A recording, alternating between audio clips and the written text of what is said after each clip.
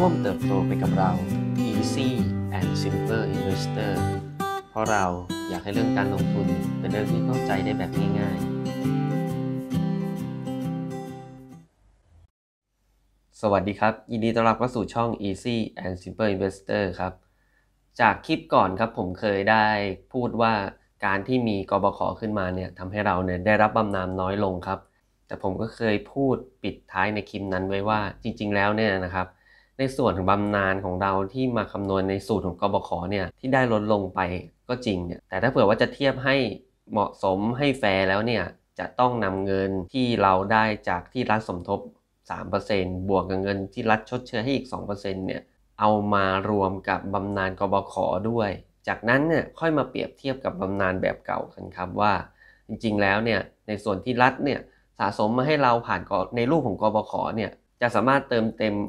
บำนาญที่ลดลงไปของเราเนี่ยได้มากน้อยขนาดไหนนะครับเดี๋ยววันนี้ผมจะนำเสนอข้อมูลชุดหนึ่งครับที่ผมได้ลองคำนวณมาแล้วนะครับ โดยข้อมูลในชุดนี้นะครับ ผมได้ตั้งสมมติฐานว่าเป็นข้าราชการคนหนึ่งครับ ที่เริ่มรับราชการที่อายุเนี่ย 23 ปีครับ แล้วก็เริ่มสตาร์ทเนี่ยที่เงินเดือน 15,000 บาทนะครับ จากนั้นเนี่ยข้าราชการคนนี้ครับ ก็ได้มีการปรับเพิ่มเงินเดือนโดยเฉลี่ยเนี่ยอยู่ที่ประมาณปีละ 3%ครับ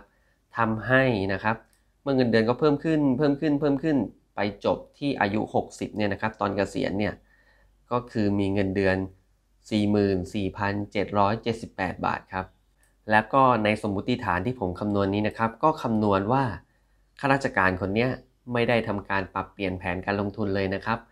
โดยเงินทุกบาททุกสตางค์ที่ลงทุนผ่านกบขเนี่ยเขาได้ใช้แผนหลักของกบขเท่านั้นนะครับ โดยที่ผมได้สมมติฐาน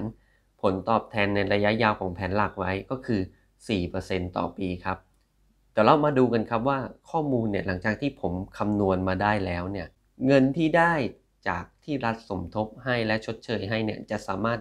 ทดแทนเงินบำนาญที่ลดลงไปได้สักกี่เดือนกี่ปีครับผม โอเคนะครับ ผมได้ลองคำนวณบำนาญแบบเก่าแล้วนะครับ โดยที่สูตรก็คือเอาเงินเดือนเดือนสุดท้ายก็คือ 44,778 บาทเนี่ยนะครับ มาคูณอายุราชการของเขา ก็คือเขาเริ่มรับราชการที่อายุ 23 นะครับกเกษียณที่อายุ 60 ผมก็ใช้ 37 ปีนะครับ จากนั้นก็มาหาร 50 ครับ สรุปแล้วนะครับ ถ้าสมมุติว่าข้าราชการคนนี้นะครับ ได้รับบำนาญแบบเก่าเนี่ยเขาจะได้บำนาญเดือนละ 33,136 บาทครับ ต่อมานะครับผมก็ได้ลองมาคำนวณว่าข้าราชการคนนี้ครับ หากคิดในสูตรของบำนาญแบบกบขเนี่ยจะได้เงินเท่าไหร่นะครับ ก็คือเอาเงินเดือนเฉลี่ย 60 เดือนสุดท้ายของข้าราชการคนนี้นะครับ คูณอายุราชการแล้วหาร 50 ครับ โดยทั้งนี้นะครับเงินที่จะจ่ายบำนาญ ในสูตรกบขเนี่ยจะได้ลิมิตสูงสุดได้แค่ไม่เกิน 70%ของเงินเดือนเฉลี่ย 60 เดือนสุดท้ายครับ ซึ่งเบื้องต้นนะครับผมได้ลองคำนวณนนะครับ เอาเงินเดือนเฉลี่ย 60 เดือนสุดท้ายนะครับ คูณอายุราชการแล้วหาร 50 แล้วเนี่ยนะครับ จะได้มาก็คือ 31,261 บาทครับ แต่เมื่อจำกัดแค่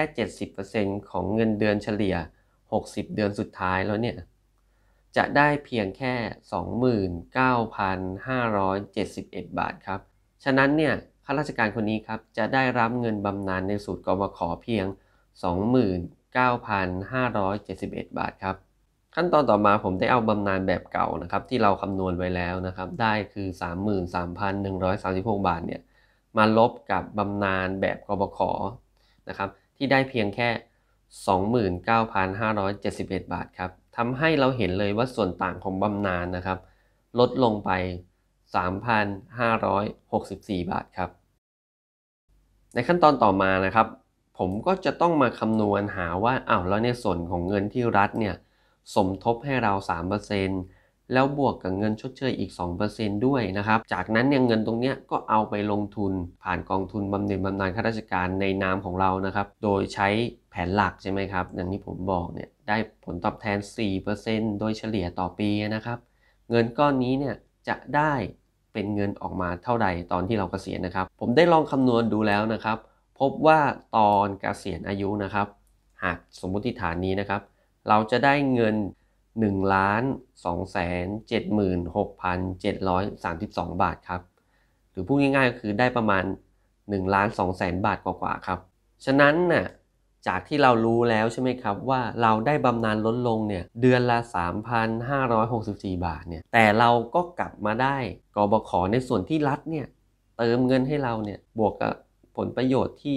ได้มาจากการลงทุนเนี่ยก็คือ1ล้าน2แสนบาทโดยประมาณนะครับ ผมก็เลยจับเอาไอ้ส่วนต่างบำนาญเนี่ยครับที่ได้ลดลงเนี่ยมาหารนะครับ กับจำนวนเงินที่ได้จากการลงทุนกบขในส่วนที่รัฐเนี่ยลงทุนให้เรานะครับ พบว่านะครับเงินตรงนี้นะครับจะสามารถชดเชยบำนาญได้ถึง 358 เดือนครับ หรือตีเฉลี่ยก็คือประมาณ 29 ปีกว่าๆเลยนะครับ เกือบเกือบ 30 ปีเลยนะครับ ก็ขอสรุปอย่างนี้นะครับว่าจริง ๆ แล้วเนี่ยการที่เราเนี่ยมองกระจกนะครับผ่านข้อมูลชุดเดียวในเชิงที่ว่าเราเทียบแค่เงินบำนาญที่เราได้ลดลงเนี่ยบางครั้งเนี่ยเราอาจจะมีความรู้สึกท้อใจครับว่าการมีกบขเนี่ยทำให้เราเนี่ยได้รับบำนาญเนี่ยลดลง แต่อย่างที่ผมได้อธิบายไว้แล้วนะครับ ก็คือจริงๆแล้วเนี่ยรัฐก็สมทบแล้วก็ชดเชยเงินให้เราอยู่แล้วนะครับ แล้วผมได้ลองคำนวณให้ทุกท่านเนี่ยได้ลองเห็นแล้วจากสมมติฐานที่ผมได้ ได้นำมาคำนวณเนี่ยก็พบว่าเงินที่เราได้จากกบขในส่วนที่รัฐสมทบมาให้ตลอดระยะเวลาการทำงานนะครับ ก็สามารถชดเชยกับบำนาญที่หายไป ในแบบที่เราก็ไม่ได้เสียเปรียบอะไรครับ เพราะจากตัวอย่างที่ผมคำนวณเนี่ยก็สามารถชดเชยได้ถึงเกือบเกือบ 30 ปีเลยนะครับ ฉะนั้นเนี่ยผมจึงอยากให้ทุกคนเนี่ยได้รับข้อมูลส่วนนี้ไปพิจารณาด้วยนะครับ พื่อจะได้มองข้อมูลได้อย่างรอบด้านนะครับ แล้วก็อาจจะมีทัศนคติที่ดีขึ้น กับการที่เราเป็นข้าราชการแล้วต้องมีกองทุนบำเหน็จบำนาญข้าราชการครับสำหรับคลิปนี้ลาไปก่อนครับ คลิปหน้าจะเป็นเรื่องอะไรติดตามชมกันด้วยนะครับ สวัสดีครับ ร่วมเติบโตไปกับเรา Easy and Simple Investor เพราะเราอยากให้เรื่องการลงทุนเป็นเรื่องที่เข้าใจได้แบบง่ายๆ